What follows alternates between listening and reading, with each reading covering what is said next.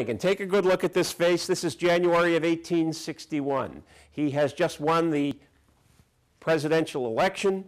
Secession has immediately begun, begun as a result of that. Lincoln, as uh, you, you know, had run on a ticket which stated that slavery would not be allowed to reach into the new territories in the West. Can you uh, talk about what got you into this research and influenced the book? Well, for the longest time, I'd wanted to write a novel about Abraham Lincoln. Uh, and my editor had wanted me to write a novel about the Emancipation Proclamation. And uh, I'd also wanted to do one about the Civil War that, that, that followed the life of some individual through the war. And I put all those things together, and this is the book that emerged finally.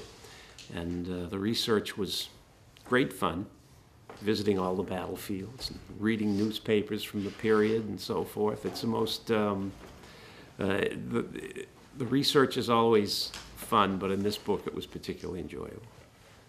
Now, how long did it take you to do all the research for this book? Well, I usually do some research and then I start writing and figure out what I need to know, and then I go back and do the research. So the whole process takes a couple of years. There's a writer who has described it as a year of research, a year of writing, and a year of selling. And my, my process is a little bit different from that, but, but not a lot.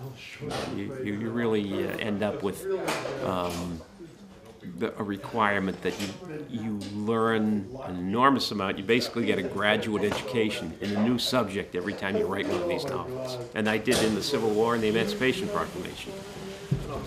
And uh, now, do you have any other projects in the works currently? I'm writing a book now called The Mother Lode about the California Gold Rush, which is the uh, central event in the 19th century aside from the Civil War.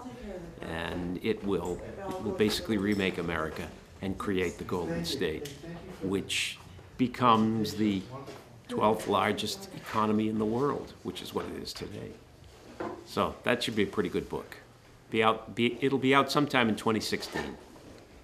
Certainly. Now, where where can people find out more information about you? Is there a website? Yes, uh, WilliamMartinBooks.com, and I usually try to keep it up to date, so you'll you'll know where to come and hear my lectures, or when the next book is coming out, or you can click a link to Facebook and go there and see whatever I'm posting and ruminating upon, which is usually historical related material on the, the author page.